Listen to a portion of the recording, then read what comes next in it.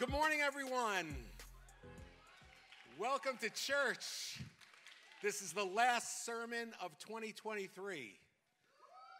But don't be sad. I believe that God's going to inspire you today and give you fuel for the new year 2024. And I believe that God's going to fuel your faith today. We're going to talk about the faithfulness of God. Uh, but before I do, I want to just brag on our church a little bit.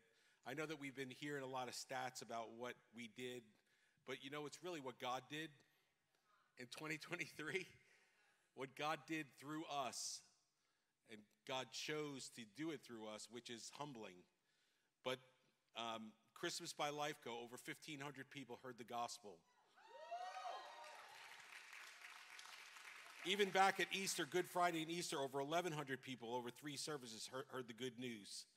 You know, and th- we do what we do because we're endeavoring to follow the Word of God. Right? We're endeavoring to follow the Word of God. Like Jesus said, if I be lifted up, I will draw all men unto me. And as we're lifting up Jesus, God is drawing people to Himself. And I believe that that's the reason why we had 240 new people that came through our doors last year, this year, and 170 salvations. 170 salvations and over 60 baptisms. Listen, that's awesome. That's like more than one a week. I mean, that's a lot of baptism. That's awesome. What God is doing in our church is just amazing. We believe in training up a child in the way that he or she should go, right? And so our kids' church and our kids' camp and everything that happened, over 150 kids every week are ministered to in our kids' church. Can we hear it for our kids' workers? You know, some of them, you know, you wouldn't even know that they go to church here because they're back there every single week and they give their heart and soul into what is happening with our kids. We hosted 67 teenagers who were touched by the power of God at our summer vibe youth camp. Come on, because we believe in training up and raising up young people in the Lord. Because Jesus commissioned us to go and make disciples of all nations, we are discipling people every week here at our Sunday morning services and throughout the week in our crews. 500 people attended a crew this year. Come on. And 140 of those were in a Bible study crew, which I'm particularly fond of. And we, we have seen so many people growing in their faith being transformed and the, their mind being renewed by the Word of God. Just amazing what God is doing. So, um, there was a, a, man that came here. His name was John John Wilkins, a man that fun- he's a friend of our church, a friend of Pastor Kyle and Kenzie. Came to our church and he prophesied over our church. And I just want to declare this again over our church because I believe that it's true. We have been seeing it happen and we're going to continue to see it happen he prophetically spoke over our church that this would be a place where the presence of God is experienced and many people will come to know Jesus. I think that's worthy of an applause. Because we are living out that. And, you know, the, the, the, the astounding thing about it is that it's really not about us. Because the one vital ingredient to all of this, the one most important factor is that God is faithful. It's the faithfulness of God that brings everything together. It's God then doing his part. As we obey his word, he's doing his part in bringing people and saving people and giving the heart change to people, right? Isn't it wonderful what God's doing here? So we're operating to, to function according to God's word in this church. The message today is titled The Faithfulness of God. Let's pray. Father, in the name of Jesus, over these next few moments, God, I pray, God, that you would speak to your people regarding how great is your faithfulness. Great is thy faithfulness. Morning by morning, new mercies we see, Lord. So, Father, we pray, God, that at the end of this message, God, they would see you as the one whose hand is in on their life right now. When they look back, they could see the faithfulness of God. Lord, but your hand is on them even now, that their testimony will be someday look what the Lord has done. In Jesus' name we pray. Amen. I'm going to start off with a scripture from Luke chapter 1. My last scripture um, uh, my, of the, my first scripture of this message uh, of the Christmas season is the story of Mary getting the word from God. How many know Mary got a word from God? Luke chapter 1, verse 31 Behold, you will conceive in your womb, the angel spoke to her, and bring forth a son, and shall call his name Jesus. Then Mary said to the angel, How can this be? Since I don't know a man. And the angel answered and said to her, The Holy Spirit will come upon you, and the power of the highest will overshadow you. Therefore, also the Holy One who is to be born will be called the Son of God. Now, indeed, Elizabeth, your relative, has also conceived a son in her old age. And this is now the sixth month for her who was called barren, for with God nothing will be impossible. I want to say that again. For with God, nothing, I don't care what you got to face this year going into 2024, with God, nothing will be impossible. That, then Mary said in verse 38 Behold, the maidservant of the Lord. Listen to these next few words. Let it be to me according to your word. And the angel departed from her. Let it be to me according to your word. You see, Mary heard the word of God, and then she attached herself to it. She owned it for herself. She believed what the angel spoke to her. Even though it was impossible, even though the circumstances seemed like, how could this ever happen? How could a virgin become pregnant? How could it be that I would be called to, be, to, to, to, to house the Son of God in my womb? I mean, you think about the, the, the gravity of that, the responsibility of what she must have been. She, there's no way that she could possibly do that without believing. She believed God, she believed the word. In this last verse, in verse 45, Elizabeth, who's also pregnant, comes to visit Mary and says, Blessed is she, speaking of Mary, Elizabeth says, Blessed are you, Mary, who believed, because you believed, for there will be a fulfillment of those things which were told her from the Lord. In other words, when we look at this verse, we can see that Mary is blessed because she believed God's word that was given to her, and she would see then the fulfillment of this word because of God's faithfulness. You see, God's, here's my first point the, the faithfulness of God is tied to the promises of God, it's tied to the Word of God. Too many Christians are walking around saying, Yeah, God's going to do this for me and God's going to do that for me. Oh, God, you will be faithful to me because you will answer my prayer and you will do what I want you to do. No, God's faithfulness is tied to his promises. God already wrote it in his book and he will see it come to pass. He will do what he said he will do. Faithful is he who has called you, and he will also do it. Right? So we've got to attach ourselves to this word. We've got to believe the word, grasp onto the word of God, and say, Yes, Lord, regardless of my logic, regardless of, of my natural thinking, regardless of my circumstances and what seems so impossible with my situation, I'm going to believe your word. My God, that's that is that is liberating. That is liber it's life changing. You don't you don't have to struggle in yourself. You don't have to figure it out. Uh, you don't have to have brain strain to figure, figure out how God are you going to do this. Don't worry about how God's going. Let God be God. Let God do it His way. Let God do things the way He wants to do them. Don't take matters back into your own hands. God's about to do something wonderful, and you might not understand it, but I'm here to say you're going to look back someday and you're going to say, Look what the Lord has done. It is marvelous in our eyes. The faithfulness of God is tied to the promises of God. We have promise after promise after promise in this word.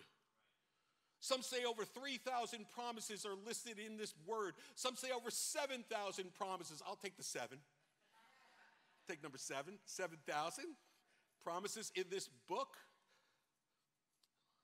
Hallelujah. But here's a sample of some of these promises for you and for me. These are the kinds of promises that God is all about fulfilling. He promised to forgive and cleanse us of all our sins. He promised to give us eternal life. He promised to prepare a place for us in heaven. He promised to never leave us nor forsake us. He promised to adopt us as his children. He promised to love us unconditionally. He promised to provide for our every need. He promised to heal our bodies. He promised to guide us. He promised to deliver us from Satan's power. He promised to pour His Spirit out upon us. He promised to answer our prayers, and He promised to give us peace. And He promised to fill us with joy. Come on, that's a list of I don't know how many, 12 out of 7,000. You might say to me, Well, I don't know what God's promised me. Well, open the book and begin to discover all the things that God is speaking. Listen, this is God's word to you. This is the word of God. That means that God is speaking it even now. And you don't know what God's saying. Don't pray and ask God for a prophetic word of some prophet to knock on your front door. Just open the book and begin to pray and begin to see what God has already said in his word because this is the word that he will bring to pass in your life. My Lord. Whew. The promises of God are tied to the covenant that He has cut with us. The covenant that we have with God. We have a covenant with God. What's a covenant? It's an agreement, it's a two part agreement. There's God's part and there's my part. But how many know we fail? We fall short? We miss the mark? We sometimes blatantly disobey. But on God's part, He's faithful. He never fails. He never, he never uh, says, "Oh, in this circumstance, because of your um, circumstance, because of your situation, I'm gonna like not be faithful this time." He's always faithful. He's forever faithful. Great is thy faithfulness. You see, we just need a glimpse of the goodness of God sometimes in our lives. If we would just open our eyes and see how faithful and how good God is, we would get out of our misery. Amen? Amen? What is a covenant? We are living in the new covenant because Jesus was obedient to go to the cross for us and shed his blood. That was the rat- that ratified this covenant. He said, "This is the new covenant in my blood," like Pastor Etta read before. He redeemed us. He made us right with Him. He adopted us into His family. He brought us in. He filled us with His Holy Spirit. And then He gave us His word with all the promise. Man, He set us up for, for success. With all the promises contained in the word, he gave it to us so He could have a people that showed forth the praises of Him who called them out of darkness. He called us forth to show the world what it means to be in covenant with God, to have a relationship with God, to be a son or a daughter of God. It's not like about, like, oh, yeah, I believe in God. No, this He wants to show forth Himself through you to this dark and dying world. That brings Him glory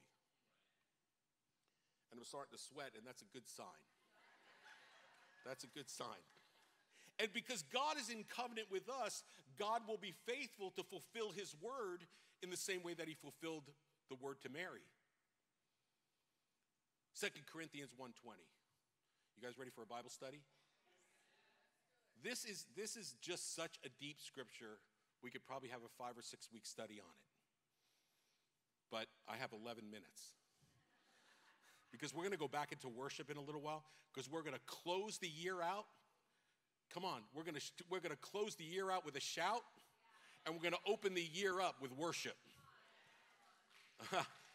Set your affections on things that are above where Christ is seated at the right hand of the Father. We're going to go into 2024 in worship to Him, in humble adoration to a God who's so good to us. 2 Corinthians 1:20 For as many as are the promises of God, they all find their yes or their answer in Christ. Stop right there, Lenny. What does that mean? We have 7,000 promises in the book of in the book in the word of the Lord, right? In the Bible. Christ on his part of the covenant, come on, old covenant, new covenant. We now are in a new and better covenant, right? Than the children of Israel were in the Old Testament. Are you with me? For all the promises of God, in, when we are in Christ, He is saying yes to them. What does it say? They all find their yes, their answer in Him, their yes. Christ, because of His faithfulness to the covenant, He says yes. Then it says, for this reason, because Jesus is saying yes, we also utter the amen, or so be it, to God through Christ in his person and by his agency to the glory of God. So, in other words, here's the promise. Jesus, here's the covenant that the promise is based on. Jesus is saying, Yes, Lenny. And then I say, Amen, Jesus. He says yes, and I say amen, and then we see the promises come to pass in our lives. Are you getting this this morning? We see the promises of God. Listen, the Bible says that the promises of God come by faith and patience. Oh my gosh, sometimes we, we put God on a timeline and we're like, God, you know, uh, you, you, you need to do this quickly, God. You know, there's some, I could give testimony after testimony after serving God for 40 years. I could give testimony after testimony where God will take decades sometimes to answer a prayer. But what He's doing in the midst of it is more precious than anything else. The trial of our faith is more precious than gold, which perishes. What, we, what He puts us, what He allows us, I'm not gonna say what He puts us through, what He allows us to go through sometimes when we are in His kingdom, right? When we stand like Mary in the, in the face of impossible circumstances, when we stand strong, it's then that God is building something of substance within us.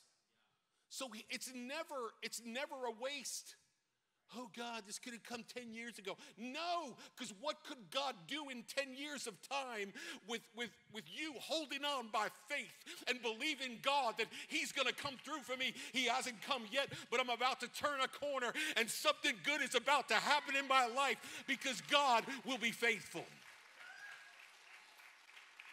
He will be faithful. We have all these promises from God that have been given to us. Because of Christ's faithfulness to the covenant, He says yes. We respond by saying amen, which means we are in alignment and agreement with God's promises. Some of you need a God's promise book.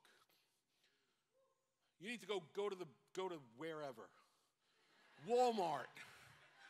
I don't you have it Walmart? Target. No, Target probably doesn't sell them. Ooh uh, Walmart, anywhere. Hobby Lobby, don't go on Sundays. Chick fil A, uh, no. And get yourself a God's promise book. Lord, I'm going through this. Okay, let's look up the subject. God, what does your word say? What does your word say about it? What are you saying, God? What are you saying about this? And it says, This brings glory to God. He's like, Oh, goody, goody, goody, goody, goody, goody, goody. You know what? God gave me this for you. Your disappointment is actually God's appointment with you. Your disappointment, when, whenever you're disappointed, whenever you're discouraged, that disappointment is God's appointment with you. You have an appointment, come visit the doctor. Come to the doctor. We have an appointment. Let me sit you down.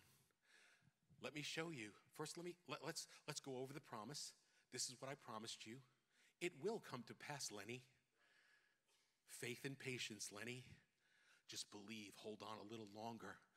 Don't you dare throw in the towel, Lenny, Because what I'm doing in you is so much greater than what you, what you think is an answer to prayer will do for you. Listen, Jerry and I have been through so much, not in our marriage, but we have been through so much together walking this life with Jesus over the last 40 years. 40 years. You think it hasn't been, been without trial? I mean, I mean, my weight, my, you know, I'm just joking. but has it been without trial? I feel like sometimes this is like the hour of darkness, and the hour of darkness never ends. I've been there. I know what you're walking through, some of you.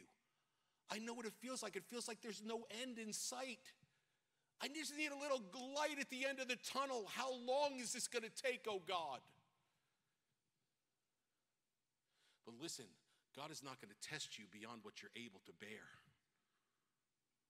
But with the temptation, He'll provide a way of escape. Listen, God's not going to push, push you through something that you can't handle, but He knows where you are and what you can handle. And He, sometimes it feels like He's pushing me just a little bit too hard. I don't know if I could take the training wheels off the bike, God. I don't know if I could trust you for this thing, God. I don't know. I'm so used to doing things the way that I've always done them, and this has always worked for me. And God's saying, Lenny, it's time to take off the training wheels. It's time to grow up. God has been speaking to me, guys. I've been saved for 40 years. God has been speaking to me about sin in my life. Pastor Lenny, you have sin in your life? We should bring in the officials. No, listen, like what I came out of, alcoholism and all that stuff that I came out of, a broken past, addictions and every, what I came out of, yeah, all of that is in my past. It's under the blood. Thank you, Jesus. Thank you, Jesus. But we get lackadaisical in our walk with God, and then there's other things that he has his finger on, and we're like, oh God, but I don't do that anymore. And God, I'm, I'm pretty good now. And God put his finger on gluttony in my life. Somebody's clapping. God put his finger on gluttony in my life. You might not be a drunk, Lenny, but you're drunk with food.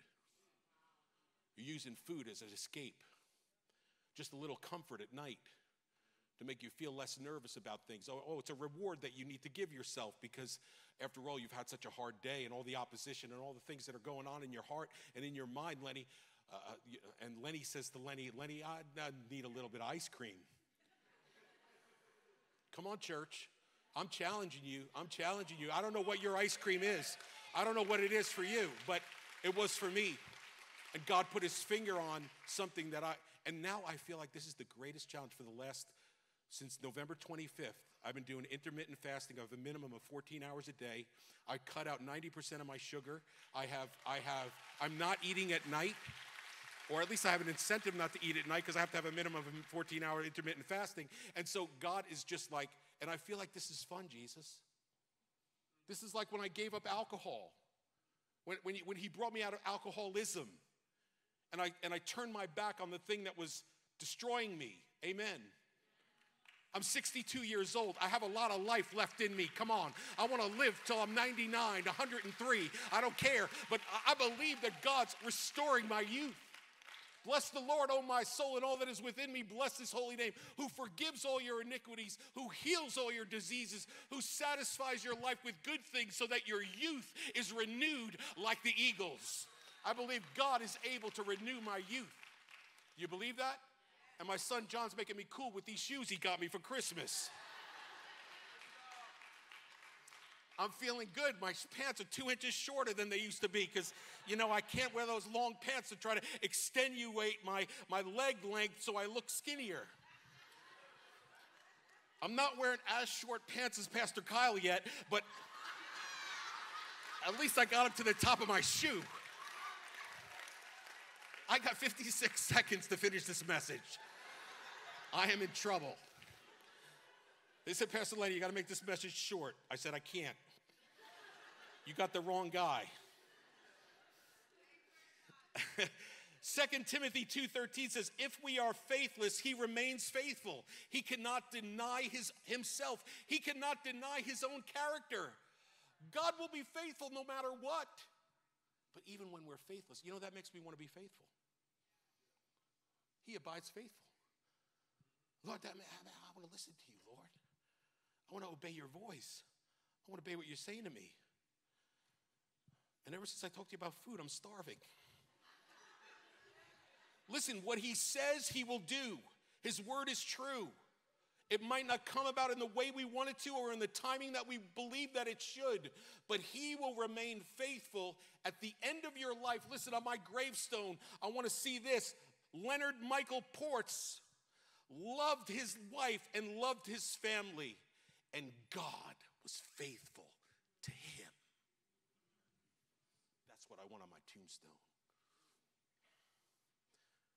that no matter what I've got, no matter what valley I've got to walk through, no matter what trial I've got to endure, no matter what storm comes my way, come on, Jesus said, You're blessed. Jesus said, he, he, a, a man, a wise man is like a man who, who, who, who built his house upon the rock. We're going to sing about it in a minute. He built his house upon the rock. And though the winds blew and the storms came and the floods rose, he was not moved. He was not moved. He was not moved by the circumstances of his life because his life was built upon a rock, and that rock is Jesus Christ. And the rock is his word. The rock of ages and the rock of truth is his word. We stand upon his word. We believe his sayings. We believe his word, and we are blessed because of it. The faithfulness of God is my next point, fuels our faith. If you read Hebrews chapter 11 and many of the other verses about these patriarchs and matriarchs of faith in the Bible, their faith was not in themselves.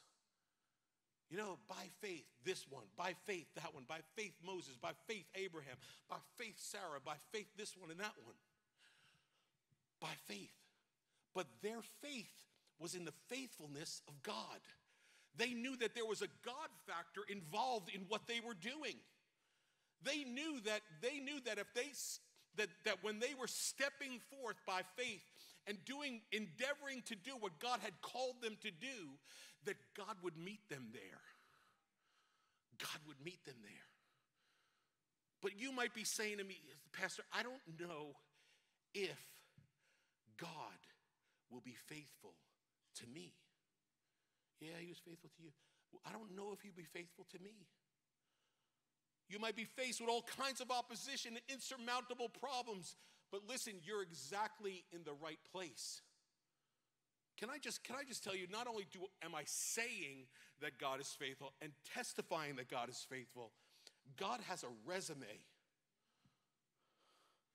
God has a resume. He has a track record. He has a history. Come on, let's take a look at God's resume. Not only was he faithful to Mary to see the fulfillment of his word to her, there are so many others. What about Abraham? God promised him that he would be the father of many nations, but he was tested in his faith when God asked him to sacrifice his son Isaac. But God provided a substitute, the ram caught in the thicket, to be sacrificed instead of Isaac.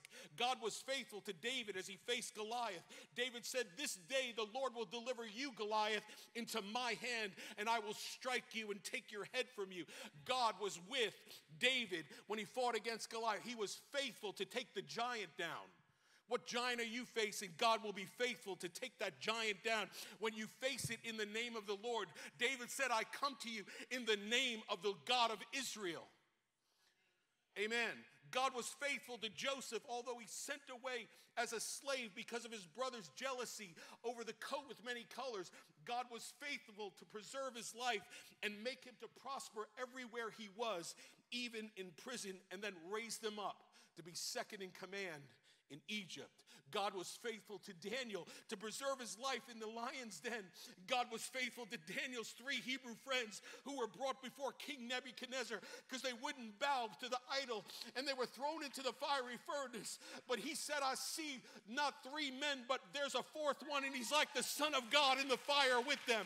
Come on, God preserved the three Hebrew boys in the fiery furnace. God was faithful to Esther in the midst of uncertainty and the risk of death. God gave Esther favor with the king, and God's people were saved. God was faithful to Sarah to give her a child, even when she was barren and unable to have a child. Hebrews 11 11 says this, and by faith, even Sarah, who was past childbearing age, was enabled to bear children because she considered him faithful who had made the promise. Woo. Woo. That was a sprint. As a matter of fact, the whole book of chapter 11 in the book of Hebrews is really about them attaching their faith to the faithfulness of God. Here's my last point the faithfulness of God will stand regardless of your circumstances. Pastor Etta preached my message before. The faithfulness of God will stand regardless of our circumstances. Can I testify to you for a moment in the next 30, 30 seconds? Going to say 30 minutes. 30 seconds. If I, if I, could, if I could accelerate this, I, I want to just tell you real quick. Jerry and I have been testimony after testimony after testimony of God's faithfulness. But in 1991, we had been married for six years. Um, we had two boys, Tim and John. My boy up here playing, now 30. How old are you, John? 35? 34. There he is. Um, we were renting houses because we couldn't fit in apartments anymore. And um, somebody told us about a, a, housing lottery in Riverhead, New York, out in the east end of Long Island.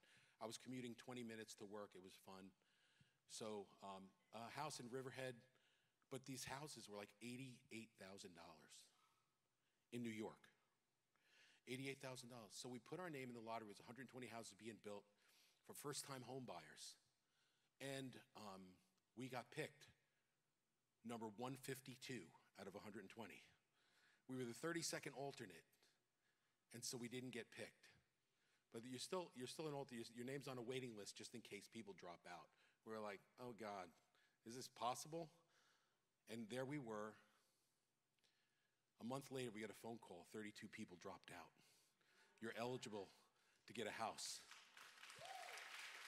1,500 square feet, which, was a mansion for us. 1,500 square foot. It took us 18 months to get the mortgage. We would drive out to Riverhead from where we lived 30 minutes away, and we would stand on the property while the house was being built. Oh God, if this is our house, God, we claim it in the name of Jesus. We decree it in the name of Jesus. This is our house by your providence, by your provision, because God, you promised in your word that you would provide for all of our needs. And so finally, Jerry was pregnant. When we moved in, Jerry was nine months pregnant with Amy. So we moved in and we grew, and the family grew by up to five children. Notice up to, we terminated, no, we didn't terminate. We stopped childbearing after five children. That's the nicest way to put it. We stopped childbearing. She stopped childbearing, not me. I can't get we, I can't say we, she. So, so we, we um, then we were um, three bedrooms, so we had three boys in one room. We had two girls in the other room, and thankfully, Jerry still wanted to share the third bedroom with me. and there we were, and then we said, you know, you, then you face the next child. Oh God, this house is so small. We had dressers in the hallway. When you walk and you open the door, it practically hit the banister going up the steps. We had a sectional in the, in the, in the family room so we could watch TV together, and the door to the half bath hit the side of the sectional. It's like it was just too small. We're like, oh God, you're a provider. But you had to be in the house for 10 years, otherwise, you had to pay back this $25,000 grant that they give you. So um, at this point, I was living in Riverhead, the east end of Long Island. Then I got a job somewhere in the midst of that in Manhattan. So not only was I commuting, I was commuting from East End along all the way in Manhattan. Jerry likes to say three hours one way. On a good day, it was two and a half hours one way. I was spending five hours a day, five to six hours a day commuting. God, I don't see my children. You said to train up a child in ways you to go. Uh, and when he's old, he will not. If I'm never there, how can I train them up? This is not Jerry's only responsibility to raise up these children. And there we were. At one point, we only had one car, and I was trying to give her the car as much as I could and getting rides from people to the train station and, and, and so on. And then 9 11 hit. And I was in Manhattan on the day because I worked in Manhattan. And I said, God, if there's any way. At that time, a month before that, the guy that I reported to, not only did, was he over Northeast, he took over Mid Atlantic. So now that he had the office in Richmond. I said, hey, if anything ever opens up in Richmond, let me know. Two months after 9 11, he said, There's an opening for a director position in Richmond. I want you to apply for it. I applied along with other candidates, and I was picked. This was 10 years and one week after we moved into the house in Riverhead. We didn't have to pay anything back, and we profited $150,000 in the sale of our house. Don't tell me God is not faithful. We moved from a 1,500 square feet to a 5,500 square foot house here in Chesterfield. What an amazing story. And I could tell you story after story. And listen, we're still in the midst of some valleys in our life. We're still believing God for some things to come to pass. Listen, my commute went to 20 minutes. We were now in this big house. God was blessing. And then there were giants in the promised land. oh, here comes the Yankee, Lenny from New York. Oh, who does he think he is? Taking over over here. And I was like, I tried to hide my accent and everything and didn't work too well. And like we faced all this kinds of uh, opposition and people making stories up about me and, and all this stuff. It was crazy. And I'm like, God, you're a vindicator. Your word says, Vengeance is mine. I will repay, says the Lord.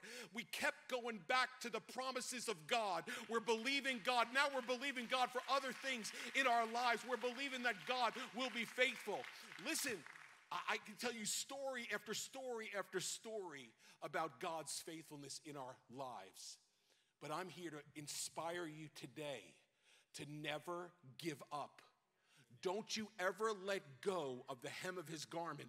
Don't you ever let go of Jesus. Don't you ever stop embracing the cross. Don't you ever stop because listen, sometimes the pain is all worth it when you go through it and you come to the resurrection and you can look back and you say, I'm so glad that I held on to Jesus through what I went through because if I didn't, who knows where I would be? I'd be in no man's land somewhere. But I'm looking back and I see how God was with me all the time, and He brought me through, and He will be faithful.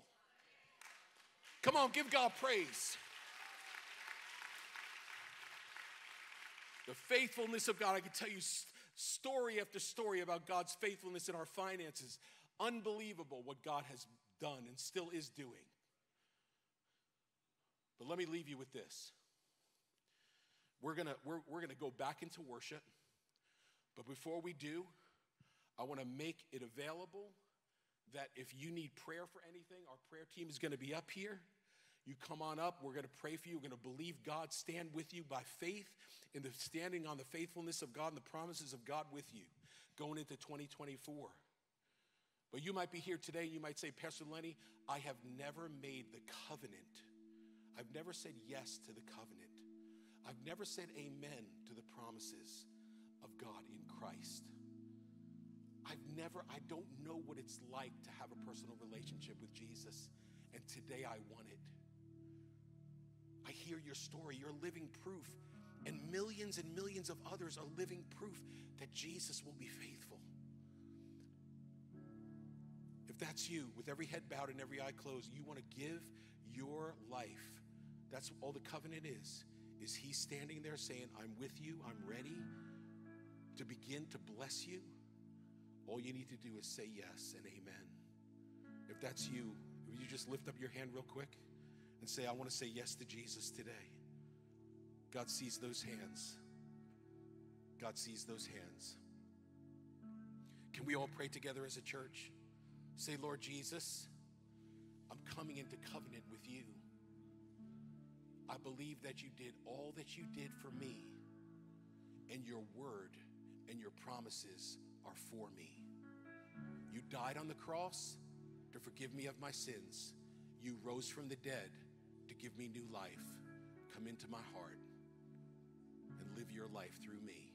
In Jesus' name, amen and amen. Come on, let's give God praise.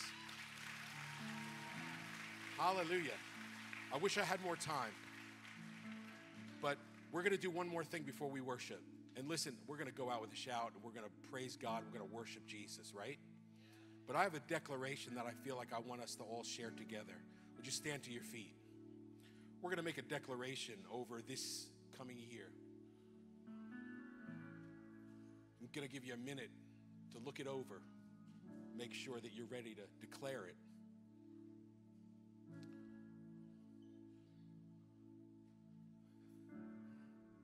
How's everybody? Blessed. Okay, you ready? Let's declare this together as a church. Here we go. We believe that God is faithful. We believe that God has done great things in our lives, and He is still doing great things. Our trust is in Jesus, and our faith is in His Word. He will be faithful to all His promises. 2024 will be a year of the Lord's favor. We will see the goodness of God. Though trials may come, though storms may rage, we will not be moved. His faithfulness will bring us through.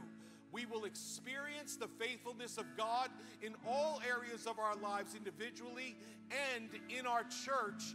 Amen. Come on, let's give God the praise that He deserves.